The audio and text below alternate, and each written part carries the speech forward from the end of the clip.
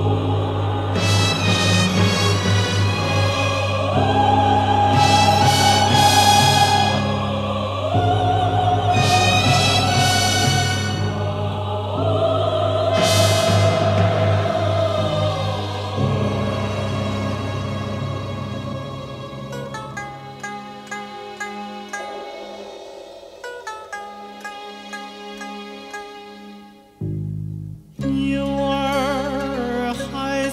山坡吃草，放牛的却不知哪儿去了。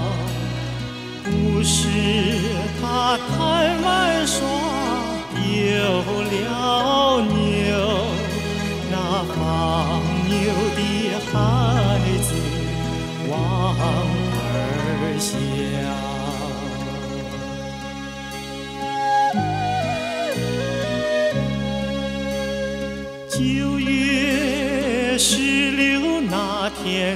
早上，敌人像一条山沟扫荡，山沟里掩护着后方机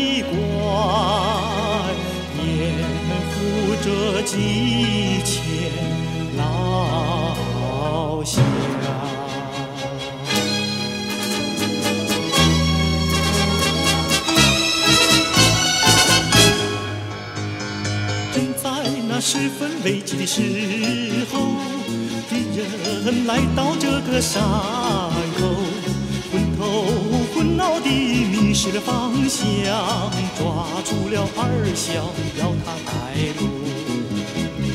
二小他顺从地走在前面，把敌人带进我们的埋伏圈。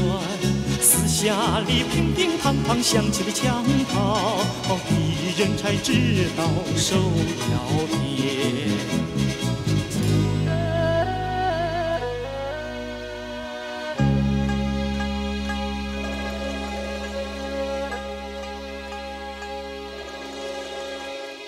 敌人把二小挑在墙间，摔大石头的旁边。我们十三岁的王二小，英勇的牺牲在山间。干部和老乡得到了安全，他